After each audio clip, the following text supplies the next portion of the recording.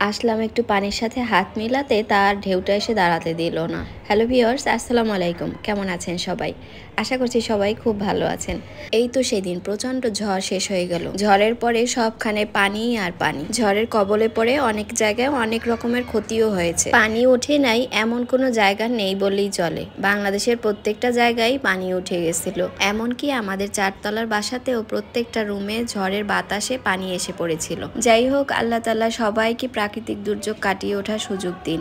আমি আজকে চলে আসছি বটিয়াঘাটার এই সুন্দর নদীর পাড়ের দৃশ্য দেখার জন্য। আর ওয়েদারটা ছিল অনেক বেশি ভালো। কোনো রোদ ছিল না, শুধু বাতাস আর একটু মেঘলা মেঘলা ছিল।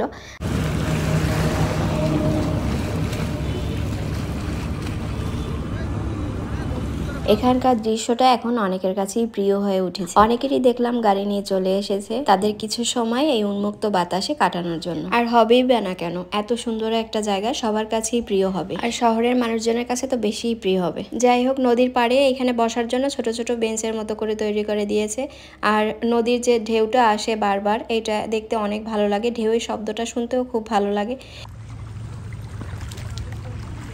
নিরিবিলি এই জায়গাটা বসে প্রাকৃতিক সৌন্দর্যের মাঝে আপনি হারিয়ে যেতে পারবেন। এত সুন্দর একটা জায়গা সত্যি। দেখুন, নদীর পাড়ে কত মানুষের ভিড়। তার সাথে সাথে অনেক সুন্দর ছবি তুলছে এখানে, কারণ এত সুন্দর জায়গায় ছবি তো ভালো আসবি তার জন্য সবাই ছবি তুলতেছে।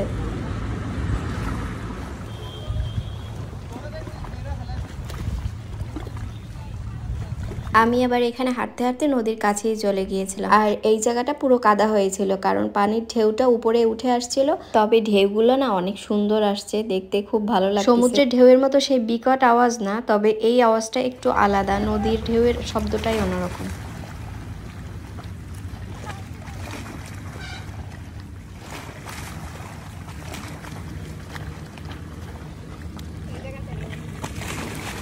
আমি আবার এখানে একটু আসলাম পানির সাথে হাত মিলিয়ে নেবার জন্য। কিন্তু ঢেউ এসে এমনভাবে আমার পা ভিজিয়ে দিয়ে গেল, পুরো জুতোটা একদম ভিজে গিয়েছে।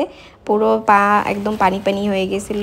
আর ওই কাদা, যার কারণে জুতাটা একদম নোংরা হয়ে গেছে। ভাগ্যিস এই জুতাটা আমি আজকে পরে আসছিলাম না নাহলে তো খবর ছিল আমার। যাই হোক, এই ঢেউগুলো একটু দেখলাম, এখানে দাঁড়িয়ে কিছুক্ষণ দুই একটা ছবি তুললাম, তারপর উপরে চলে আসলাম। আর আস্তে আস্তে এই বাবলা গাছটা অনেক ভালো লাগছিল। তার একটু পাশেই ঠিক এই বসার জায়গাটা।